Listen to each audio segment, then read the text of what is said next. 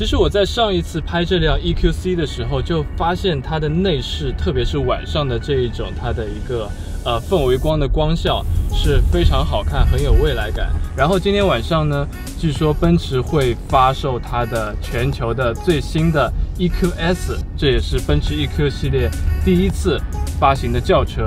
我也很期待说它的一个美学设计究竟是怎么样的一个表现。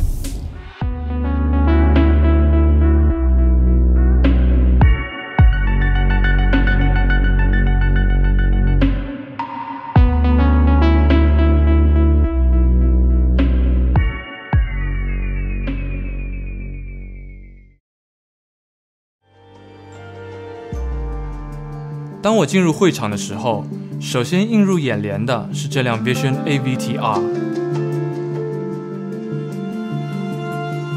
它是奔驰从好莱坞电影《阿凡达》中汲取灵感以后设计出来的一款概念车。当我触摸到它的那一瞬间，仿佛整个会场都安静了下来。我似乎走进了一个二十年以后的未来世界。眼前的轿车，它看起来更像是一个有生命的坐骑。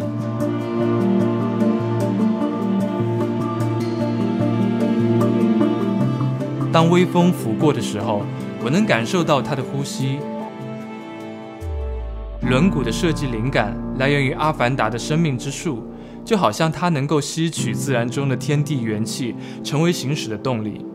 在夜晚拍摄这辆车的时候，马上就让我联想到了潘多拉星球，许多植物和动物都会在晚上发光，营造出奇幻美妙的美感。Vision AVT R 遵循了梅赛德斯 EQ 电动品牌的设计理念，那就是将美感与数字化元素相结合，通过超前的未来科技诠释先锋豪华的设计。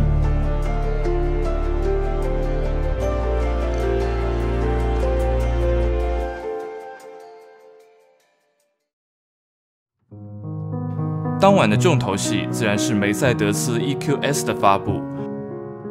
我也非常荣幸受邀成为国内第一批拍摄真车的摄影师。奔驰 EQS 的设计美学还是吸引着我，一体成型的超大 Hyper Screen，纯白色的内饰搭配熠熠生辉的 LED 光效，仿佛是坐进了一艘宇宙飞船中。流线型的外观搭配迈巴赫式的撞色。沉稳，而不是运动感。一边拍摄的时候，一边我在问自己：我理想中的轿车会是怎样的？或许，梅赛德斯 EQ 就是那个答案。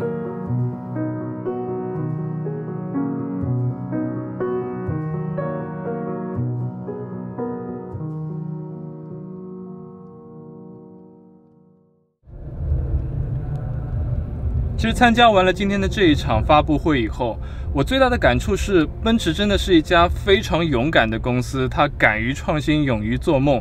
但是在这之上更厉害的一点是，他们居然能把这种对于未来世界的美丽愿景落实到现有的产品当中，这一点让我着实很钦佩。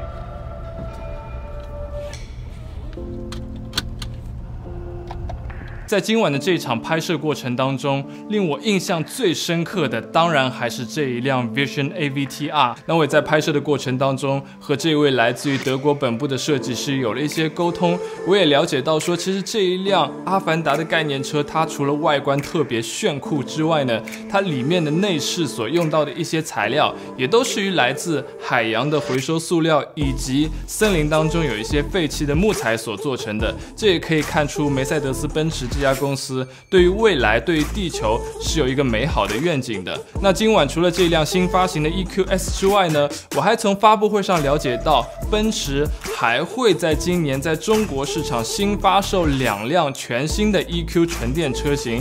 那也可以看出来，其实梅赛德斯奔驰 EQ 这个品牌，它做电动车是真的开始花心思，然后动真格的。那经历了这一晚的奔驰 EQ 之夜了以后，其实我也对于豪华这个词有了一个全新的。的认知，我觉得只是把好的材料给堆砌起来，它并不能够构成豪华。